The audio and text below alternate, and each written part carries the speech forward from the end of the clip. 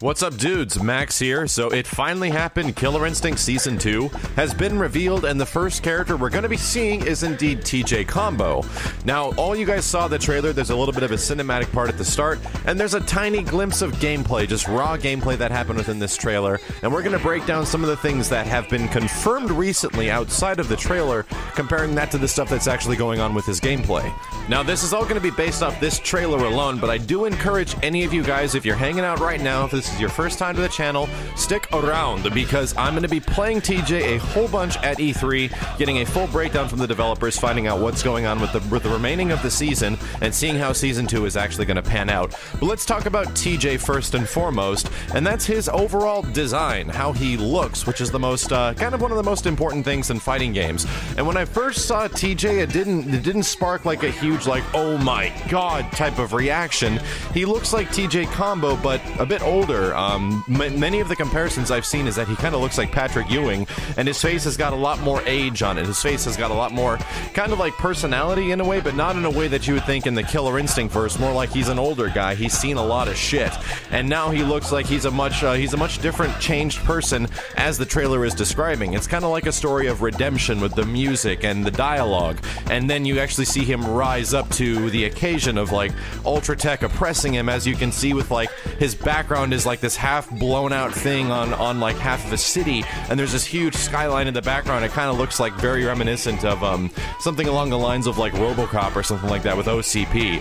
His stage is actually really cool, um, but as far as TJ's design, I kind of fell a little flat for me. Um, I don't specifically hate it. I don't think it's just god awful. I just feel that it's not like super hype. Um, I did feel that some of the previous TJ's designs weren't the most hype possible because TJ is kind of a unique character. He's the everyman. He's just a dude, pretty much.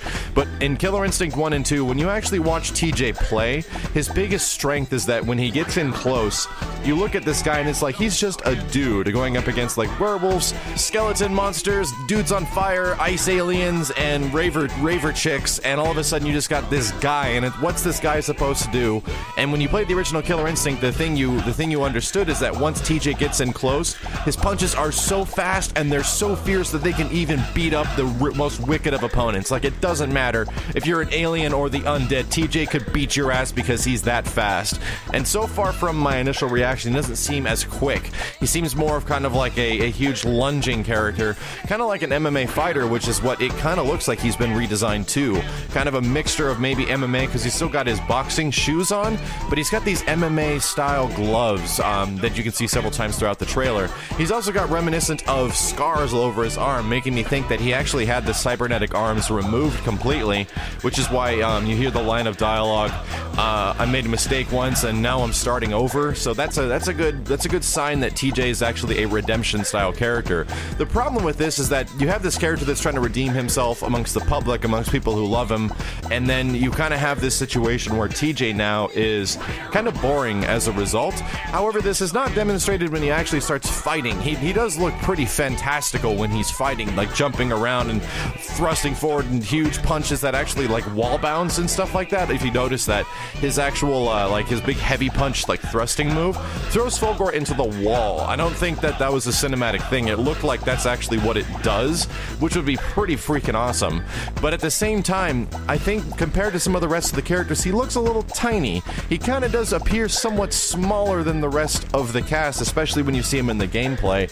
And I, I specifically feel it kind of feels like TJ's so rooted in like reality, kind of more so than the rest of the Killer Instinct cast, that TJ kind of feels like he comes out of a UFC game. Like just the way he looks, not the way he fights specifically, because the way he fights is kind of like crazy Killer Instinct superhero-ish. But his his overall look, I don't think is that much of a superhero. It's a normal guy. Um, and then you have a character like Thunder, for example, who's a normal guy but has these amazing spirit powers where he can turn into birds and stuff like that, which is pretty awesome. He's huge. He's like he's like a walking mountain, as an example. And I would almost wish that TJ was the same build, like the same huge, beefed out, like super super buff kind of dude. But in in the comparison to the roster right now, I kind of feel that TJ looks more like a regular dude and not a superhero, while the rest of the cast definitely look like superheroes. From his gameplay so far, like I said, I don't want to I don't want to ride TJ too much, but I I feel like he plays like a, super, a superhero, but he doesn't exactly look like one. But uh, over time, I was watching him and watching this trailer over and over again, and I didn't dislike his design as much. It was kind of growing on me. I think the overall thing that's kind of bugging me is his kind of lack of hype in his overall just look and like where the hell did his eye patch go? Like I don't understand how he how he grew an eye back. Was the eye patch fake in Killer Instinct 2? I mean, we can all just say that Killer Instinct is a reboot. They could probably ditch that whole story thing whatsoever. But it's just kind of weird for him to lack that little bit of a character trait because I thought it was kind of interesting and kind of cool.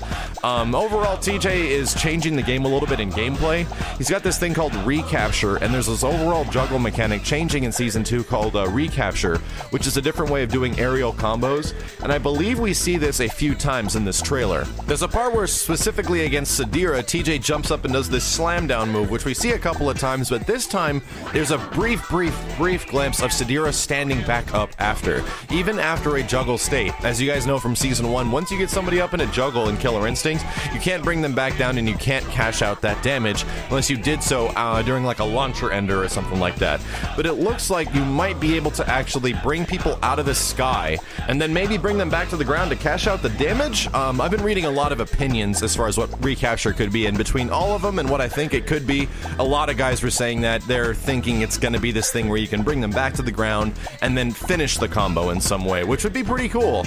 Uh, as long as all the rest of the characters get something like that, which might be really interesting for the majority of the cast. That might make some characters very good, and that might make launcher enders way more useful than they were in the original season one. So that's a pretty big system change. The other information we got is that there is going to be a total of eight characters for season two, and we're going to see the game launching indeed this fall. So between all we saw in TJ, between how I feel about TJ, I can't say too much about his gameplay and what he's doing because I just want to play the game.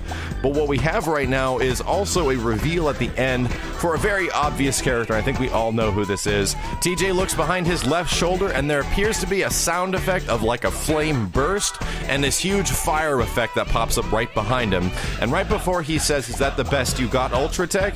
And all of a sudden, this thing appears, which is most likely highlighting Cinder. The other neat thing to identify is that he says, Is this the best you got, Ultra Tech? And then Cinder appears behind him, meaning that Cinder is indeed a product of Ultra Tech, similar to what he was in Killer Instinct 1. So I, I like this. I think that's I think that's awesome that they're teasing Cinder. I'm glad that Cinder's going to be in this one. There's a very small chance that could be Riptor, depending on how you you associate the hissing scream noise that happens with the fire. There's a chance. I doubt it'd be Cinder and Riptor following behind TJ beating up a robot, but either way, that's my summary of thoughts. I'm pretty sure we can guarantee that there's going to be a universal system change, probably for everybody, with this like aerial recapture combo thing, as well as TJ most likely being a rushdown heavy style character. What I'm curious is that is his moves going to be charge motions like Sabrewulf, or are we going to get like half circles and I mean sorry quarter circle motions like the majority of the cast? Either way, I'm a little I'm a little lukewarm on the way TJ looks. I'm looking forward to seeing how he plays because he looks like he plays really hype. It's just that the character itself doesn't like reach that level of like superhuman looks that the rest of the cast of Killer Instinct does. But I think that's why they that's why they reserve things like classic costumes. You know what I mean? So I don't know. I, I'm kind of I'm kind of trying to iffy on it. I'm gonna let it sit for a little while. Let me know what you guys think about TJ, the way he looks and the way he plays so far. Like I said, don't go anywhere, dudes. I'll be back as soon as I possibly can with gameplay impressions and interviews with the developers talking about the future of Killer Instinct and Killer Instinct Season 2. Thank you, dudes, very much for watching. I appreciate a thumbs up on this video if you get a chance. My name is Maximilian, and I'll see you all very soon.